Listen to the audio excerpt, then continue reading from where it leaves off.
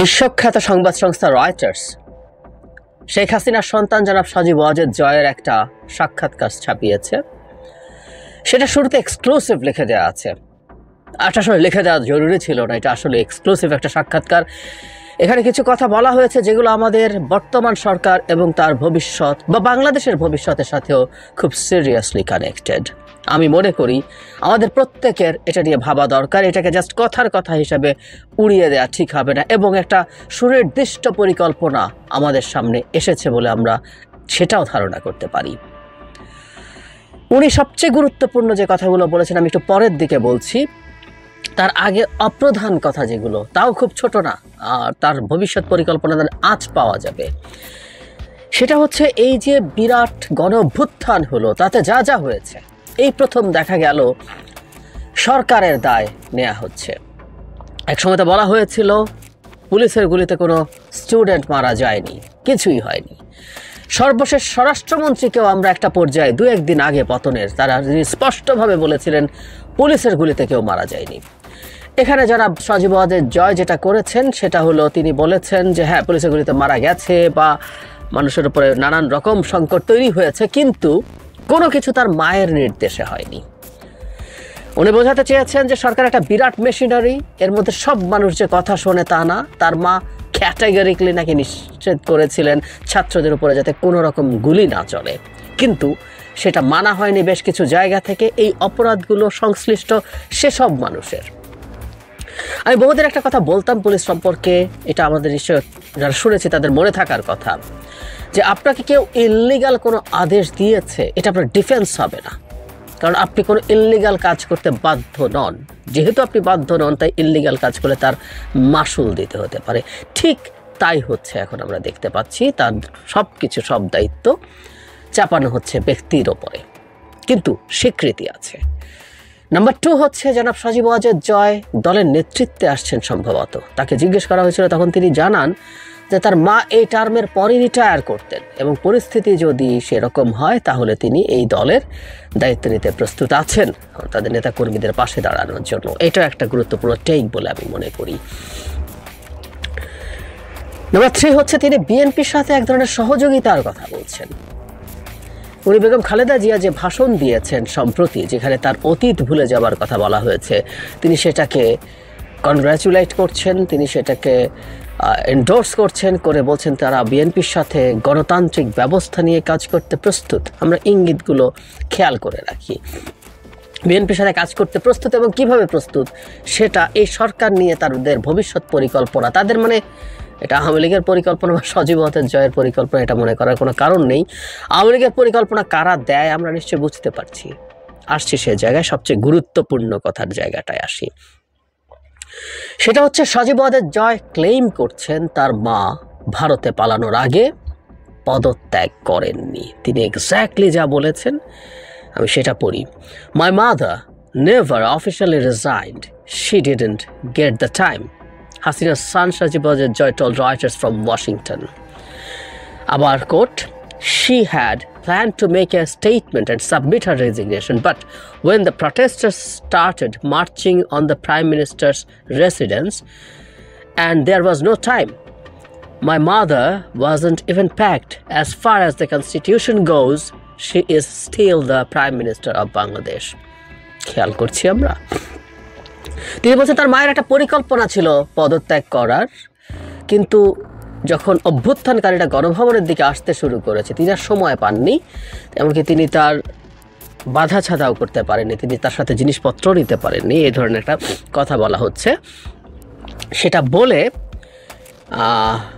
যেটা জরুরি কথা, যেহেতু তিনি পদত্যাগ করেননি the person is claiming Sajeeb Joy claim করছেন, তিনি বাংলাদেশের স্টিল বাংলাদেশের প্রাইম মিনিস্টার আমরা আসব He said, though the president had dissolved parliament after consulting with military chiefs and opposition politicians, the formulation of a caretaker government without the prime minister actually formally resigning can be challenged in the court. Without formally resigning তার মানে একটা caretaker government তৈরি হলো এবং parliament dissolved হলো এখানে বলা হচ্ছে সেনাপ্রধানের মতামত নিয়ে প্রেসিডেন্ট পার্লামেন্ট ডিজলভ করেছেন যেখানে প্রাইম মিনিস্টার রিজাইন করেননি, এটা কোর্টে চ্যালেঞ্জড হতে পারে। আমি আসব এই জায়গাগুলোতে। তারপর উনি বলছেন যে next election Awami League participate করতে পারে এবং এর আগে একটা সাক্ষাৎকারে তিনি বলেছিলেন সেই ইলেকশনের আগে তার মা বাংলাদেশে যাবেন।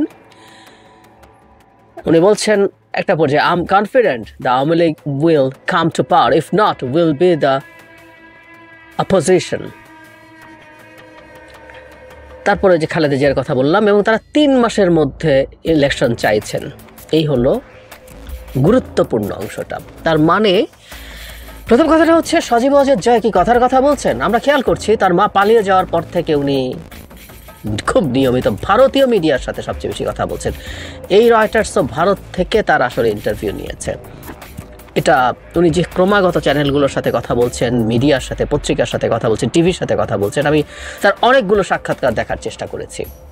আমরা খেয়াল করব, তার কথার মধ্যে এক ধরনের ইনকনসিস্টেন্সি ছিল। শুরু থেকে তিনি যেসব প্রশ্ন তার মতো করেই হয়তো জবাব দিয়ে দিয়েছিলেন, যে তার মা রাজনীতি করবে কিনা, তার পরিবার আর রাজনীতি করবে কিনা। তিনি খুবই ফেড আপ ভাব দেখিয়েছিলেন এবং বলেছিলেন যে তার পরিবার, এই জনগণের উপরে ফেড আপ তার মা এই জনগণের উপরে ফেড আপ কারণ তার মা অনেক কিছু করেছেন এই জাতির জন্য, কিন্তু এই জাতির জন্য করতে গিয়ে শেষ পর্যন্ত তিনি সেটা রিওয়ার্ডেড হন নাই। রিওয়ার্ডেড হন নাই কারণ বলা হচ্ছে যে তার মায়ের উপরে খেপে গেছে, তাকে উনি বলেছিলেন একটা বাংলা ইন্টারভিউতে বাংলার জনগণ তার মাকে বের করে দিয়েছে। সো উনি খুবই দুঃখ পেয়েছেন, যেহেতু অনেক উন্নয়ন করেছেন ইত্যাদি ইত্যাদি। পরে সেই কথাগুলো পাল্টে গেল আস্তে আস্তে। বললেন যে তাদের নেতাকর্মীদের পাশে তার দল থাকবে, তিনি থাকবেন, কিন্তু সর্বশেষ এখন রয়টার্সের সাথে আসলো এবং রয়টার্সের সাথে ইন্টারভিউ মানে হলো এটার ইন্টারন্যাশনাল ট্র্যাকশন অনেক বেশি হবে। বিশেষ করে পশ্চিমে অনেক বেশি ট্র্যাকশন হবে। এখন আমি ব্যক্তিগতভাবে মনে করি এটা একেবারেই সুনির্দিষ্ট একটা পরিকল্পনার অংশ। এবং এই পরিকল্পনা নিশ্চিতভাবেই জনাব ওয়াজেদ জয়কে দেয়া হয়েছে। এবার যদি খোলাখুলি বলে, পরিকল্পনা ভারতের ভারতের বক্তব্যই তিনি আসলে আমাদের সামনে নিয়ে এসছেন। এবং আমরা এর মধ্যে নিউজ দেখেছি নিশ্চয়ই, শেখ হাসিনা দীর্ঘদিন ভারতে থাকবেন। যেহেতু তিনি ইউকেতে যেতে চেয়েছেন এবং ইউকে তাকে আশ্রয় দেবে না। জানিয়ে দিয়েছে, আমেরিকা যাওয়া সম্ভব না। আমেরিকা তার আশ্রয় দূরে থাকুক, তার ভিসা ক্যান্সেল করে দিয়েছে। এবং ভারত জানিয়েছে, যেহেতু ভারতের শরণার্থী বিষয়ে কোনো নীতিমালা নেই, তাকে শরণার্থী বলা যাবে না, কিন্তু তাকে ভিসা এক্সটেন্ড করে করে তাকে রাখা হবে। সো এখানে একটা কনস্পিরেসিস প্লট আমরা বুঝতে পারছি। তার মানে সারা পৃথিবীর সামনে এই মুহূর্তে বাংলাদেশের যে সরকারটা আছে তার ভ্যালিডিটি নিয়ে প্রশ্ন করছেন। যদিও আমরা খুব ভালোভাবেই জানি যে বর্তমানে বাংলাদেশের সংবিধান আদতে কার্যকর আছে কিনা, একটা গণ অভ্যুত্থানের পর এই সংবিধান কার্যকর থাকার কথা না। কারণ সংবিধান কার্যকর থাকলে বা সংবিধান মতো সব কিছু হলে সরকারটাই হতে পারতো না। শেখ হাসিনার পদত্যাগের পর যা যা ঘটার কথা ছিল, সেগুলো কোনো কিছুই সংবিধান অনুযায়ী ঘটছে না। আমরা যদি তার পদত্যাগ ধরেও নেই। তাহলে আমরা খেয়াল করছি বাংলাদেশের এই মুহূর্তে সরকারটা নিশ্চয়ই সংবিধান ফলো করে হচ্ছে না এবং একটা গণ অভ্যুত্থানের পর জনগণের অভিপ্রায়ই হলো সংবিধান। তাহলে যদি আপনি ট্রুলি সংবিধানে প্রশ্ন তৈরি করেন, সেটা সাংবিধানিক হয় না। এবং আমি বহুবার বলেছি, আপনারা অনেকেই জানেন, আমরা আগে যে কোনো কাজ সংবিধান বহির্ভূত কাজও করে নিতে পারি, সেটাকে আমরা পরে চাইলে চাইলে না, এটাকে ইনফ্যাক্ট পরে একটা পরবর্তী সংসদে সেটাকে র্যাটিফাই করে নিতে হবে। একটা সংশোধনীর মাধ্যমে সেগুলোকে ঠিকঠাক করে নিতে হবে। আমরা একাদশ সংশোধনী করেছিলাম, এরশাদের পর যা যা ঘটেছিল সেটা করার ক্ষেত্রে। উনি প্রশ্ন তুলছেন এবং উনি বলছেন কোর্টে গেলে এটা বাতিল হবে। আমাদের বিপদের আরেকটা জায়গাও নিশ্চয়ই আমরা বুঝতে পারছি, চিনে উঠতে পারছি। কারণ আপনি কোর্টে যদি যান, তাহলে সেটা হতে পারে। এখন বাংলাদেশের সুপ্রিম কোর্ট পুরোটা, সেটা হাইকোর্ট বিভাগ এবং আপিল বিভাগ মিলে পুরোটাই সরকারের পুরোটাই সরকারের। যদি পুরোটাই সরকারের হয়ে থাকে, তাহলে আমাদের পক্ষে আসলে কতজন বিচারককে সরানো সম্ভব? কতজনকে আসলে এভাবে চেঞ্জ করা যেতে পারে? এখন বিপদটা আমরা খেয়াল করি। হাইকোর্টের কোনো একটা বেঞ্চে গিয়ে কেউ এটা রিট করল। রিট শুনানি হবে, কবে হবে, কি হবে, এটা ডকুমেন্ট কি পাওয়া যাবে সেটা পরের কথা।